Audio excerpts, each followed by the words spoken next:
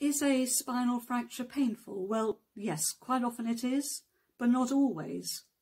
A spinal fracture caused by osteoporosis is where a weak spinal bone has squashed down on itself and it's called a compression fracture.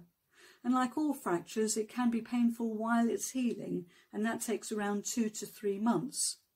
Beyond that, sometimes a different type of pain takes over, which is caused by the new compressed shape of the bone pulling and straining and pinching on the muscles, ligaments and nerves in the area.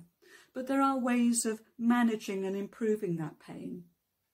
Occasionally though, someone's had a compression fracture and they've not been aware of it. It hasn't been painful. It may have been found accidentally if they've had an x-ray for another reason. They've just spotted it then.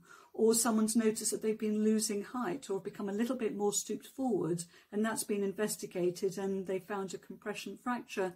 But it hadn't caused any pain. The person wasn't aware of it. And it's not always clear why that is.